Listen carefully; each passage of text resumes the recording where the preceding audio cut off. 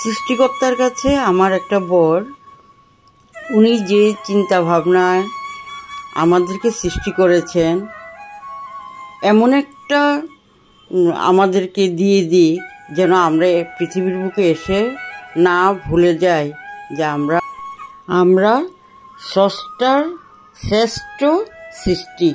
এটা যেন না ভুলে যাই। আমাদেরকে যেন কোনো লোভ, কামনা, বাসনা স্পর্শ না করতে পারে। এটাই আমার বর। কারণ আমাদের অতিরিক্ত বুদ্ধি প্রয়োগে আমাদের এগুলি লুপ্ত হয়ে যায়। জয় রাম, জয় গুরু।